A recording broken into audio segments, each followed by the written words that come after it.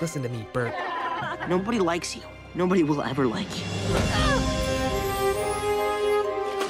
Welcome to the amazing world of magic. Wow. Everyone loves a magician, and they'll love you too. Do you want to be my partner? More than anything.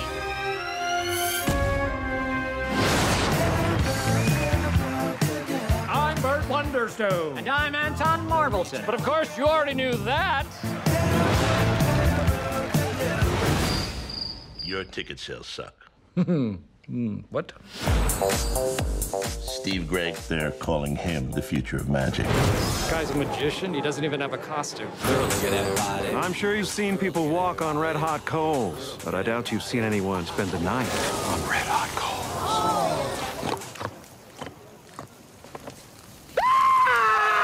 I'm sexy and I know it. You need to do something fresh. So this is where old entertainers go to die. Mm-hmm. And some not so old. May I see that for a minute? Watch this.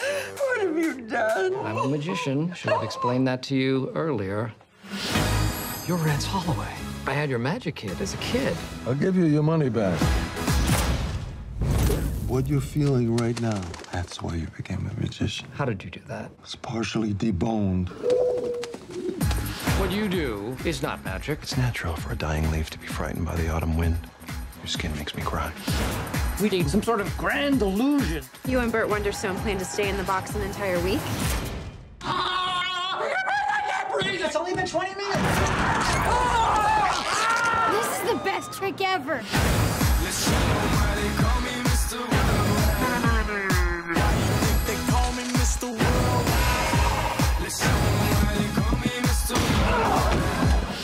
12 days, he's held his urine. What is going through your mind? I really have to pee, Richard. It's time for my final disappearing act. Where did he go? He has gone to a better place. Goodbye, Rance. He's under the bed. I know.